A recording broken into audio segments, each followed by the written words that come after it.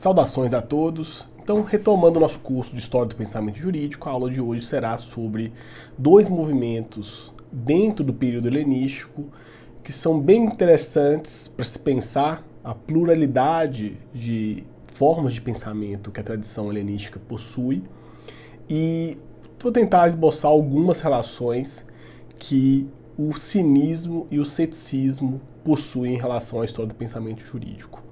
Até porque, no caso do ceticismo, é talvez o um movimento que talvez mais tenha é, influências, se for pensar em aspectos da filosofia é, posterior. Então a gente vai reencontrar, por exemplo, o ceticismo na tradição moderna, o ceticismo na tradição contemporânea, por exemplo. É, muitas vezes não diretamente bebendo nas fontes do ceticismo pirrônico, como nós veremos, mas é, em especial posturas que podem ser descritas enquanto céticas. A gente vai tentar entender então esses dois movimentos a partir de, das suas características próprias no pensamento antigo. A primeira delas seria o cinismo e até mesmo porque é uma, uma tradição que o sentido comum da palavra ou seu uso cotidiano é, é um pouco pejorativo. Então, quando você é, é, faz o uso do adjetivo é, você é um cínico, muitas vezes as pessoas é, fogem ou não compreendem, de certo modo, é, a questão filosófica disso. Quando você descreve uma pessoa como cínica, é, é, porque ela está se manifestando em relação a um dado da realidade é, de forma.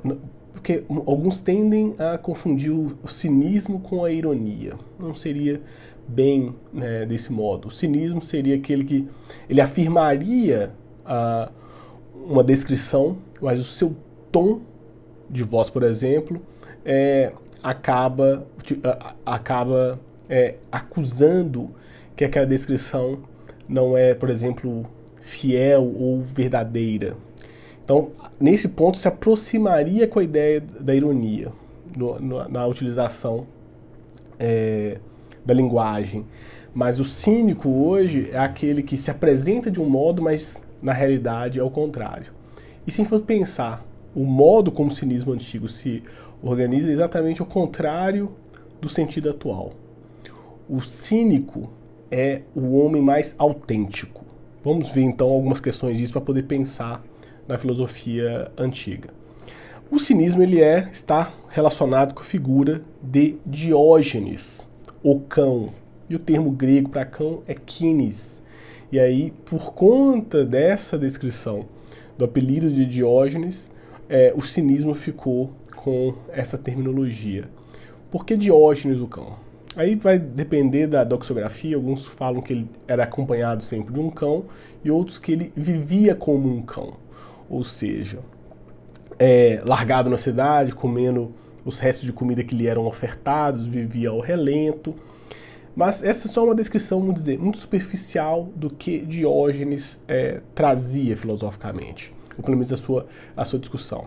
Há alguns debates sobre se ele é contemporâneo, por exemplo, é, de Sócrates ou contemporâneo de Alexandre. Para ele poder ser contemporâneo dos dois, ele teria que ter tido assim, uma longa vida.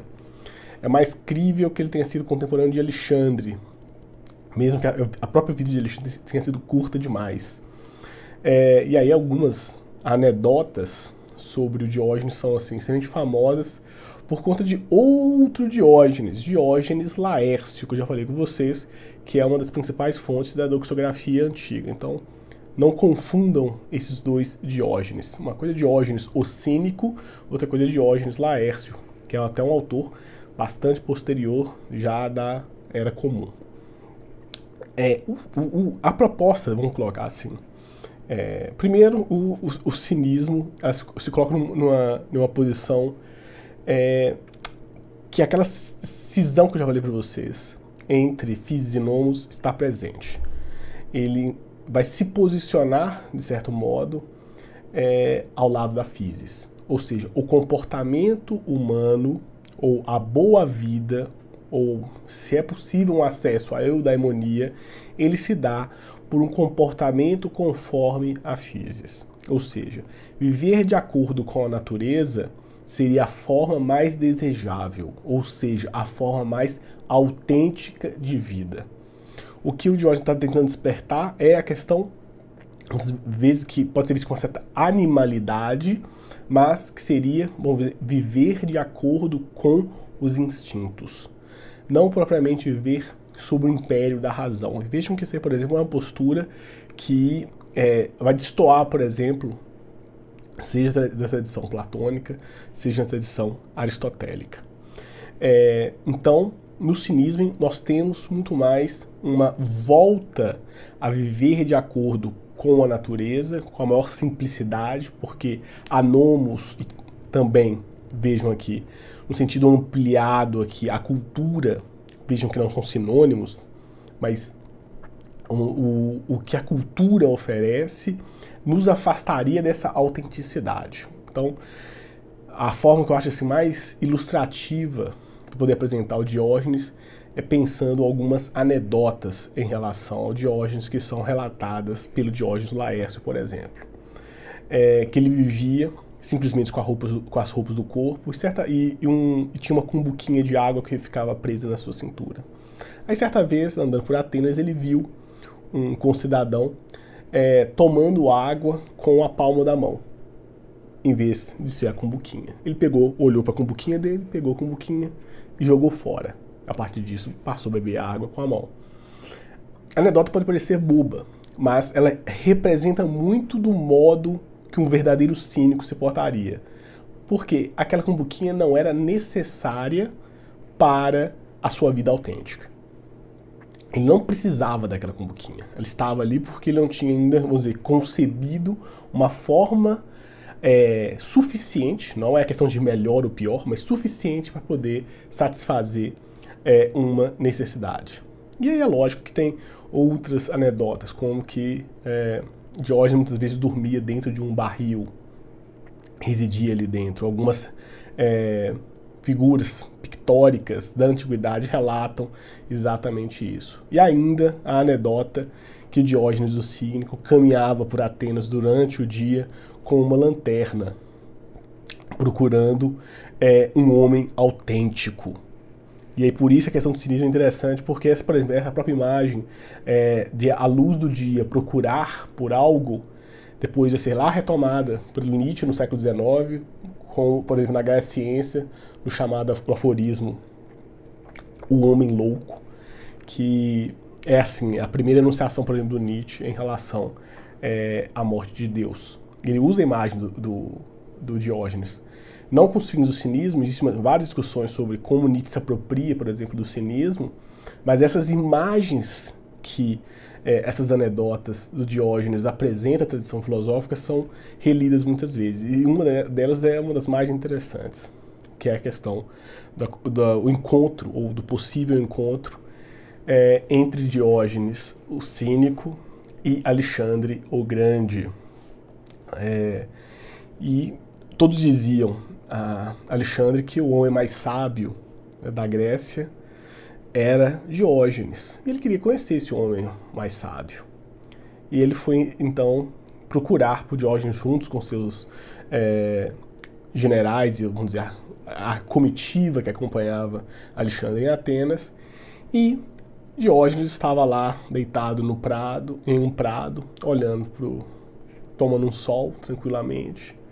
É, e Alexandre se apresentou como o rei da Macedônia, o grande conquistador, tal, tal, tal e, e, ofereceu a Diógenes é, aquilo que ele quisesse. Ele poderia escolher qualquer, pela sua fama enquanto um homem sábio, poderia escolher o que ele quisesse.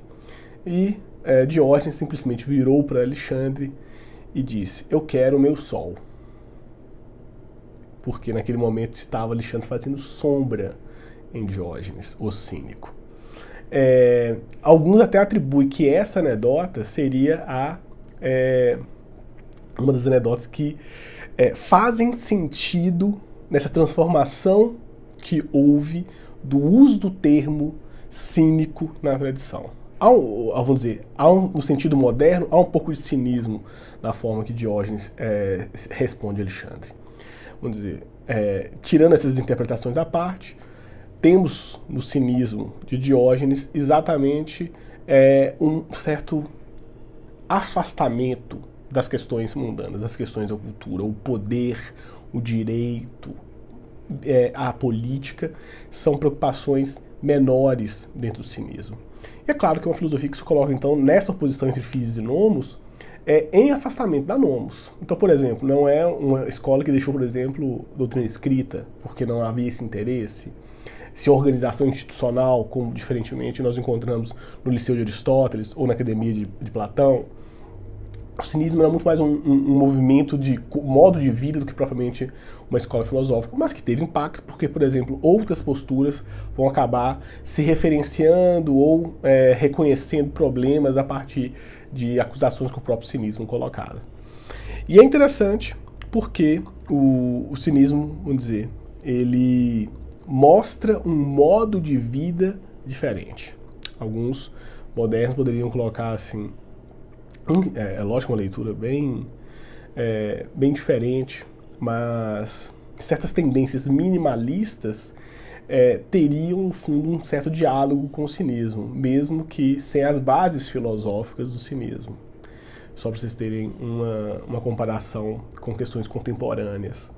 Por outro lado, em relação à ética, a gente poderia pensar uma ética dentro do cinismo a partir de, vamos dizer, três ideias aqui a gente pode colocar tem uma visão anticulturalista, ou seja, a, a, cultura ou as convenções da Nomos é, não nos propicia uma ação ética, pelo contrário, é, viver de acordo com a natureza é que seria o desejável. A cultura só apresentaria certas é, modos de organização, mas não autênticos, não naturais, portanto.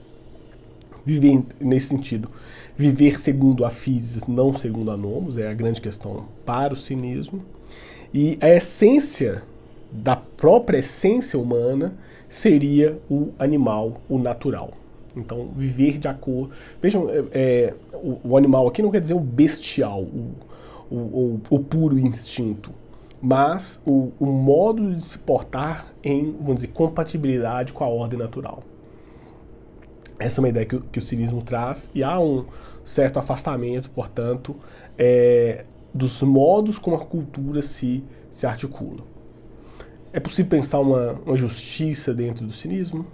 Vamos pensar é, nessa proximidade da ética com a física, do direito, enquanto esses vamos dizer, comportamentos que são perceptíveis pela essa ordem natural talvez o cinismo poderia estar muito mais próximo da tradição do, do direito natural. Mas, mas, pela, vamos dizer, falta de interesse a grandes complexidades sociais, políticas, acaba que o, o cinismo não desenvolve é, uma postura, vamos dizer, propriamente voltada para o pensamento do direito.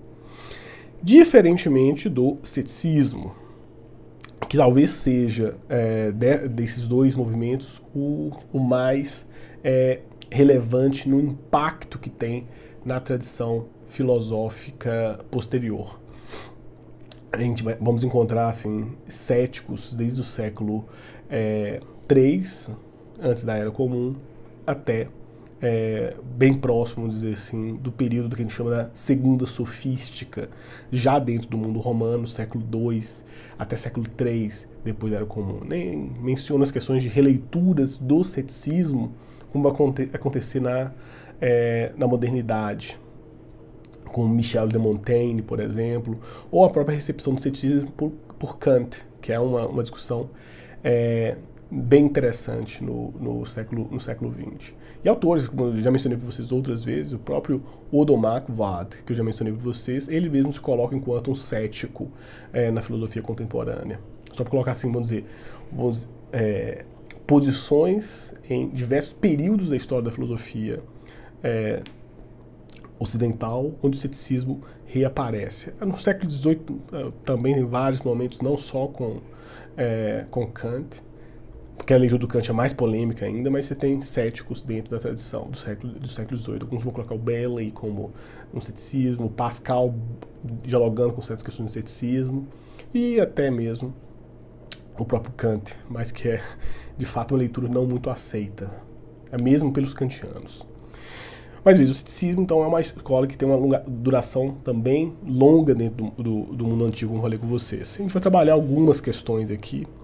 É, a, talvez o grande legado do ceticismo seja uma questão epistemológica, não propriamente uma questão ética. Tem impactos éticos, mas é um modo de se portar em relação ao conhecimento. É, o ceticismo acaba não sendo uma, uma, uma doutrina filosófica sistemática, ela por exemplo tem uma pretensão como o estoicismo, ela de certa forma se opõe ou se tensiona constantemente em relação ao estoicismo. E dois são os principais temas é, da epistemologia é, cética que são importantes para a gente aqui. Pensar tanto a questão da epoquê, epoqué vai depender de como, como se lê, e do probabilismo. Então, alguns vão colocar que o primeiro, e isso vai estar relacionado com, vamos dizer, alguns representantes do ceticismo, o primeiro é, cético tenha sido Pirro, de Elis. Pirro é um nome bastante comum na antiguidade. É, alguns generais, por exemplo, romanos tiveram o próprio, o próprio, o próprio nome. A questão é que Pirro de Elis, a datação dele é até alguns vão colocar que ele é contemporâneo é, de Sócrates, por exemplo. Não tem, dizer, não tem fontes, como sempre, não temos fontes fidedignas sobre a periodização de vida. Ele não deixou obras escritas também. Suas doutrinas foram dizer, apropriadas por outros autores e a doxografia trouxe isso é, até nós. Mas ficou uma, uma, duas posições dentro do ceticismo que ficaram é, demarcadas. A questão da hipoqué é uma categoria que a gente pode até visualizar depois dentro do, do, do vídeo específico, porque vale a pena, façam isso, que poderia, é traduzida comumente como suspensão do juízo. Então, o cético que é, se volta na epistemologia para epoqué seria, o epoquê, seria a suspensão do juízo. Como nós é, nos apresentamos no mundo, vamos conhecer esse mundo, nós não podemos ter um vamos dizer, um conhecimento pleno dessa realidade. Esse conhecimento ele é sempre é, mediato. Ele, nós, mediado, por exemplo, ele é mediado pelos sentidos. E os sentidos nos traem muitas vezes. Nós temos então facetas, perspectivas sobre o conhecimento. Então a gente não pode afirmar em absoluto nada sobre nada na posição cética. Então, se eu não posso afirmar em absoluto uma questão, eu suspendo o meu o juízo em relação àquela questão. Para o cético probabilista, que aí vejo que é a segunda posição, nós podemos afirmar as coisas em relações de probabilidade da, dentro do real.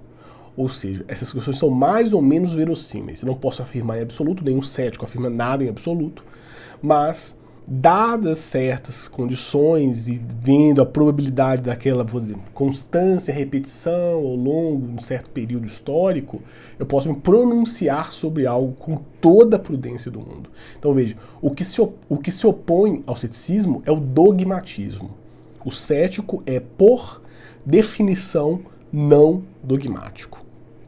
Então, ele não vai se posicionar em absoluto em relação a nada mesmo em relação ao próprio conhecimento, porque o cético ele suspende constantemente a sua formulação de juízo é, em relação a tudo, até mesmo em relação ao seu próprio conhecimento. Só que o, é esse é o caso do pirronismo mais radical, que para poder falar ele deveria suspender o juízo dele em relação ao ato de fala e investigar qual é, por exemplo, a relação de, da consciência daquela palavra com a sua origem, os modos de tratamento. Ou seja, um cético pirrônico radical, ele acabaria não se pronunciando sobre nada, porque ele sempre estaria se questionando sobre o fundamento daquilo. É, é quase como uma imagem é, radical, limite, a figura do cético pirrônico que se suspende o juízo em relação a tudo. Nem a, a caminhar os atos mais básicos ele seria capaz de fazer. Não, essa seria vamos dizer, um tipo ideal ou irreal de ceticismo pirrônico.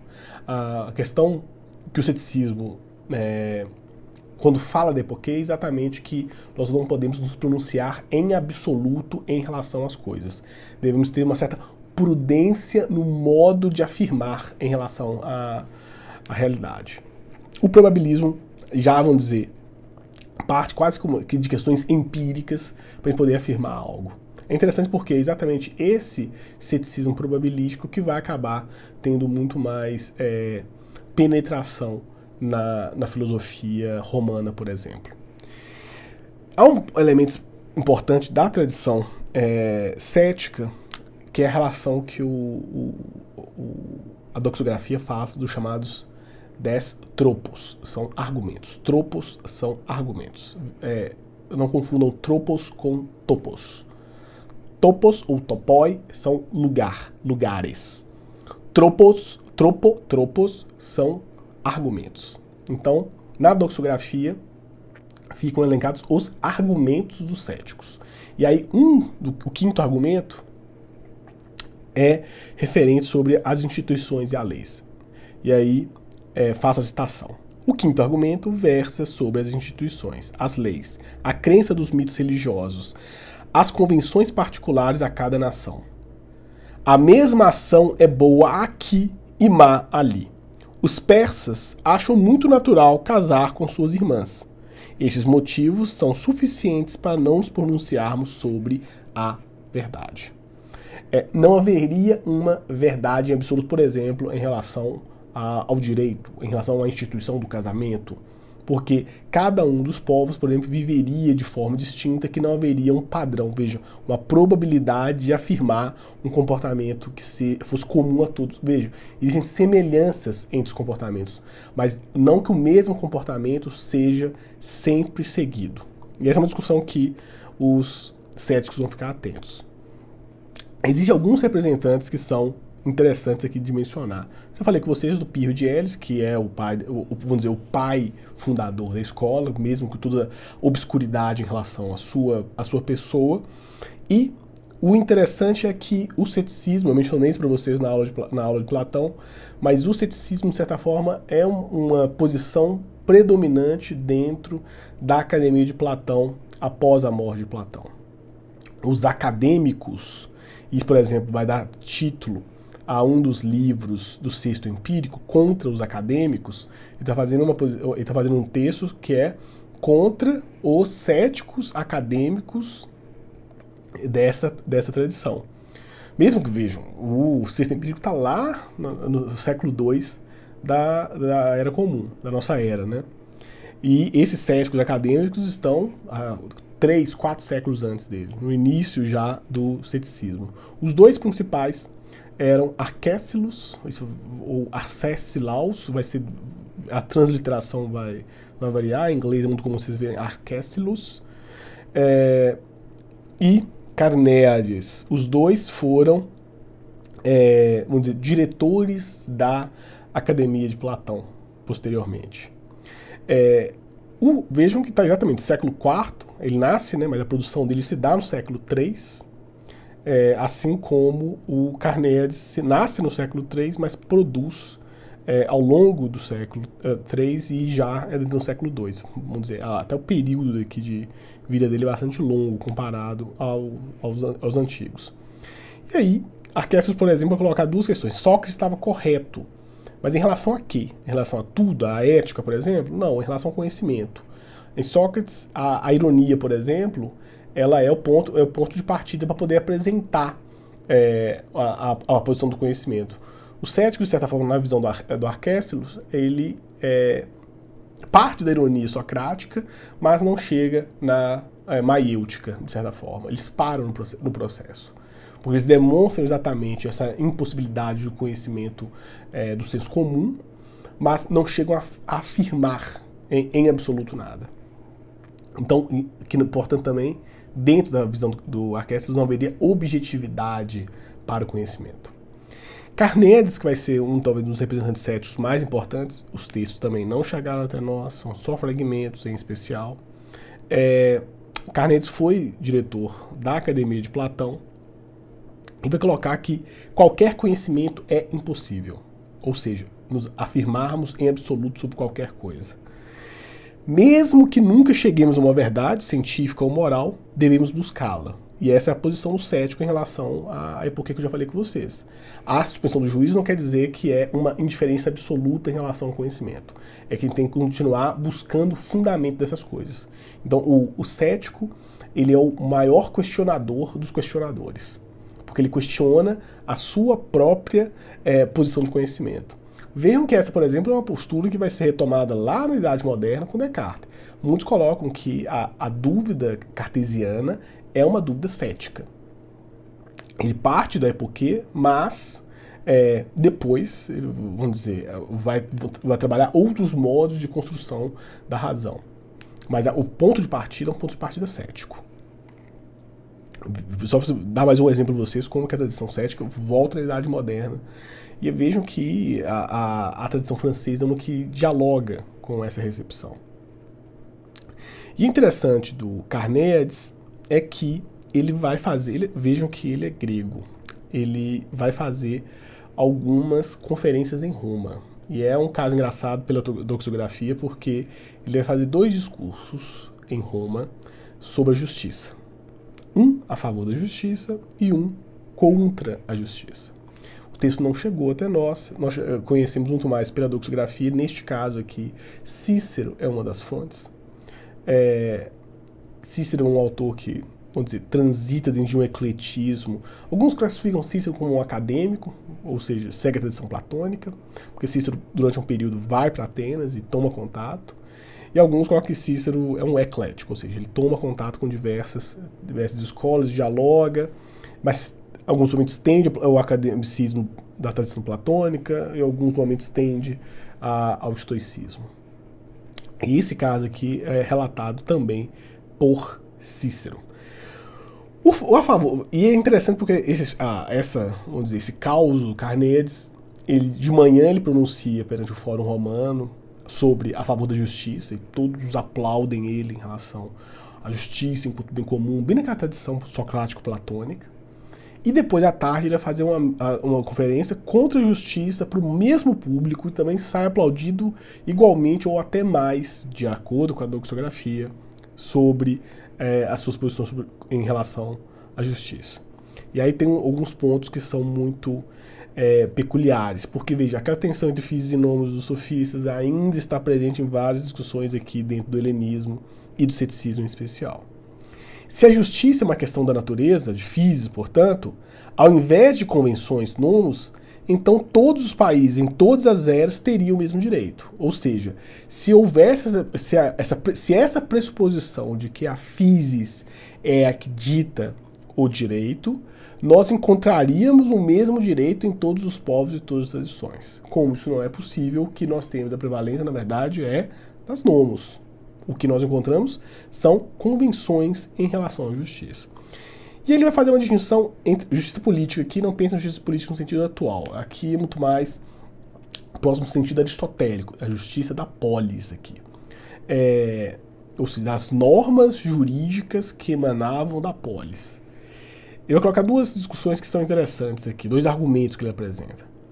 É, agir justamente quando a injustiça é punida pela lei, isso seria mera prudência do, do indivíduo. Não seria justiça. Então não confundam, na visão do, eh, de Carneades, não confundam justiça com prudência. Se você age justamente quando a injustiça é punida pela lei, na verdade, você está sendo só prudente para não ter a consequência negativa do direito. Então, isso não é questão de justiça, é uma questão de prudência. E a justiça natural, se agir justamente quando essa injustiça não é punida pela lei, seria um ato de pura tolice. Porque você não é obrigado a agir daquele modo. E aí é um argumento, veja, que é muito próximo da tradição sofística. Ele pega alguns elementos da tradição sofística e dá uma certa, uma certa roupagem nessa apresentação dele. Ele vai dizer que o fundamento da lei, e esse vem, veja que é um argumento bem sofístico, da tradição sofística, né? É, a, o fundamento da lei se encontra na utilidade. Ou seja, nós agimos de acordo com o direito, com o, a, as normas do direito, por utilidade de convívio, senão nós viveríamos em puro caos. É, é o argumento, vamos dizer, é, de Protágoras ecoando na tradição cética. Mas é muito interessante porque ele também volta no, no próprio argumento do Glauco do livro 2 da República, porque é agir justamente seria em contra a si mesmo, em, vamos dizer, não em benefício do outro, mas contra o seu próprio benefício. Isso é, vamos dizer, são posições que o Carneiro apresenta. Então, em tese, o, o ceticismo não está apresentando nada de novo. Mas há um elemento interessante aqui sobre a questão das, dos desenhos constitucionais, de, das estruturas políticas das instituições antigas. E aí é um argumento interessante, que está citado também pela, por Cícero na República. As aclamadas constituições mistas, ou seja, é, modo de organização, vejam, já falei isso com vocês, relembro isso aqui, as, a forma de falar a Constituição na Antiguidade é muito distinta do que nós estamos trabalhando modernamente enquanto Constituição. É, quando existia uma Constituição escrita, e elas existiram na Antiguidade, elas eram muito mais para poder fazer é, um modo de organização da polis. Então, qual, lógico, isso se assemelha à estrutura de poder, ou uma certa divisão de poderes aqui. Lógico que isso é uma querela muito grande. Mas quando se fala constituição mista nesse sentido aqui, na, da, da recepção, eram como a, as cidades elas relacionavam elementos, por exemplo, monárquicos, elementos aristocráticos e elementos democráticos na sua organização política. O mais belo exemplo disso nós veremos em Roma. A República Romana é uma forma de constituição mista porque a República Romana possui elementos monárquicos com o consulado, elementos aristocráticos com o senado, elementos democráticos com o povo, em especial aqui na estrutura do tribuno da plebe. Nós veremos isso em breve, mas é o, vamos dizer, o grande exemplo da antiguidade de uma constituição mista. Então, as aclamadas constituições mistas reconhecem que é necessário evitar que se dê demasiado poder a um só grupo ou seja, ou aos melhores, ou ao povo, ou a um certo conjunto de pessoas. Porém, isso é a confissão que a desconfiança mútua é natural. Por isso, a injustiça seria não natural. A justiça seria não natural. Se é, nós confiássemos uns nos outros e desse poder para um só grupo, isso fosse sentido de forma é, que é natural dar poder a um só grupo, é, nós teríamos ali um certo comportamento. Mas, pelo contrário, na realidade, nós encontramos uma mútua desconfiança nas constituições mistas, porque não se dá poder comum a ninguém e divide esse poder. Vejam que existiu divisão de funções nas cidades-estado gregas e também nós veremos isso, por exemplo, dentro de Roma. Ah, para que nenhum grupo tivesse a hegemonia do poder durante muito tempo para evitar desequilíbrio. E esse é um argumento que as constituições mistas é exatamente a prova que não existe justiça natural. Porque se houvesse, nós é, acreditaríamos que a divisão de poder para um grupo levaria a justiça para todos os demais pertencentes àquela é, comunidade, o que não ocorre. Vejam que a, a posição do cético é bastante é, realista no final das contas. Ele está tentando ver dados da realidade e fazer juízos de probabilidade é, nisso. Então vejam que é possível fazer também uma certa compatibilidade entre a epoque e o probabilismo. Aquele cético mais radical, o cético pirrônico, ele acaba afastando a ideia do probabilismo, mas o cético probabilista, ele aceita a ideia da epoque. Só que ele é mais, vamos dizer, ele é mais pragmático, fala, nós podemos afirmar em relação às coisas porque temos condições de descrever esses comportamentos enquanto possíveis e dizer que aquilo, ou por exemplo, é, dar poder para um só grupo seria não natural. Por isso, as constituições mistas demonstram exatamente, exatamente é, esse critério de não natural, enquanto um comportamento de dar poder a um só. Isso é um, é um, arqui, um, um, vamos dizer, um argumento interessante. E, continuando, um outro, é, já mencionei com vocês, um outro cético importante talvez lega à tradição ocidental grande parte daquilo que nós temos em relação ao ceticismo, porque além de cético, ele era um autor que vai se, vamos dizer, se opor a outros céticos e ainda a outros filósofos do seu tempo, a outras tradições filosóficas do seu tempo. E os textos dele chegaram em maior ou menor grau, não chegaram todos. É o sexto Empíricos, que era médico, tanto que o nome dele não era é, Empíricos, que é um, um, um prenome dado pela sua é, profissão de médico. E vejam que no mundo helenístico, é, vários médicos vinham da tradição grega. o, o, as famílias, as ricas famílias romanas, é, dentro dos seus escravos ou dentro da relação de clientela, possuíam é, relações com intelectuais gregos ou com médicos gregos para é, essa função. E é interessante porque o, o, os textos empíricos ele ganha esse prenome e utiliza essa questão porque ele é um, um, dos céticos que trabalha a questão da empiria enquanto uma possibilidade, um guia de probabilidade para afirmar algo. Então ele não é um cético pirrônico como é retratado comumente, ele é até atrelado ao pirronismo, mas a, a, a, o, o, probabilismo é a grande tônica para ele em relação ao conhecimento. E tem uns livros que chegaram até nós que são, é, vamos dizer, o que marca o ceticismo. Esboços do pirronismo contra os matemáticos e contra os acadêmicos. É, e aí aqui vão ter as principais teses do, do, do seu ceticismo. É interessante porque aí essas são lições que na, decorrem de uma síntese do próprio texto empírico, é, os céticos, no geral, vão negar é, a existência de uma lei natural. O direito ele vem muito mais pelas convenções. Então, é a tese sofística agora com o, vamos dizer, o acréscimo de um fundamento epistemológico aqui. Não é porque a, a nomos é superior à physis, é porque a physis não te dá base para poder afirmar nada sobre nada. Você vai poder ter uh, certos juízos, mas não todos os juízos do modo como se organiza uh, uma polis. Então, por, muito mais por probabilidade, acompanhando o movimento histórico. E esse é um problema que os céticos. É, há um substrato histórico, mas não há uma pretensão historicista por parte dos céticos. Mas pela comparação entre os costumes dos povos, nós poderíamos dizer que algo é, vamos dizer, aceito em certo lugar e não aceito em outro lugar, ou dando guias para esse comportamento, mas não propriamente um certo dogmatismo. Então, nenhum cético vai afirmar que a forma ideal da polis seria uma democracia ou uma aristocracia. Isso depende muito mais da, vamos dizer, da configuração daquela sociedade. Vejam que é, quando uh, vai se analisar, por exemplo, a história da própria Academia de Platão, e a Academia de Platão serviu para poder formar governantes, legisladores, príncipes daquele período, vários deles tomaram contato com o, o ceticismo e, e, e, por exemplo, fundaram uma colônia na, na antiguidade é, clássica, seja no mundo, em especial no mundo helenístico, era um ato relativamente comum, vamos colocar assim, é, em relação à polis.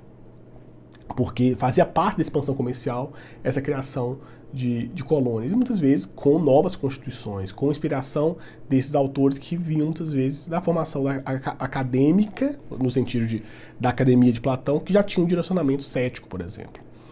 Então, uma última posição dos céticos que é importante destacar é que não existe bem ou mal por natureza, nem justo e injusto por si e por natureza.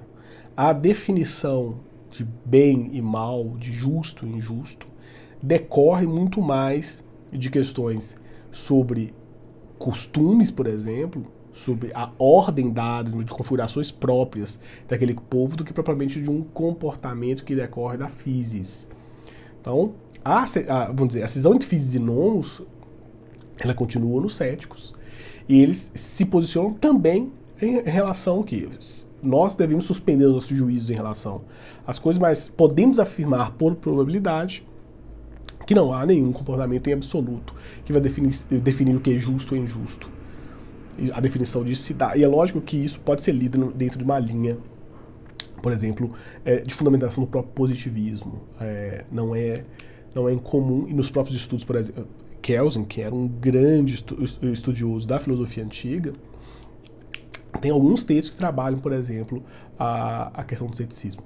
Não que o ceticismo seja fundamentador do positivismo jurídico, mas quando se analisa uh, a história antiga, o ceticismo é uma posição que se coloca muito mais que é, as normas do direito positivo são aquelas que foram acordadas mutuamente é, em dada ordem social e elas que devem ser seguidas. Não adianta invocar um direito, um direito natural que é, é inexistente ou só uma ou só uma pretensão que é transvestida com o nome é, eterno do direito natural. O cético sempre olha com a dúvida ou com uma dúvida constante, recorrente, em relação a, a uma posição de um direito natural, ok? Então vejam, essas foram brevíssimas lições sobre o ceticismo e o cinismo, que são escolas que é, marcam e demarcam muito bem é, o pensamento helenístico e na sua relação com a escola do pensamento jurídico, ok? Então, até breve.